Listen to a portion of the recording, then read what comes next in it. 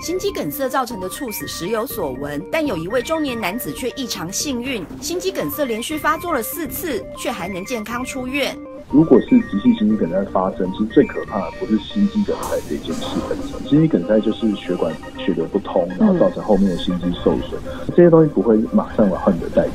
心肌梗塞最可怕的是，它在发生的当下有可能会发生所谓的致命性心律不整。当致命性的心律不整发生的时候，这个患者死亡率就突然间提高。如果没有发生致命性心律不整，心肌梗塞发作时只觉得心脏有点疼痛，所以这位患者才会不以为意。反复发作到第四次时，因为出现心因性休克的情形，这时候患者才感受到生命威胁，开始乖乖接受治疗。医师表示，心肌梗塞是多种原因导致的疾病，除了要控制三高、戒烟，胆固醇也是关键之一。建议按时服药，同时调整饮食，多运动。否则，若是幸运之神不眷顾，心肌梗塞第一次发作就会拜拜了。东新闻台北报道。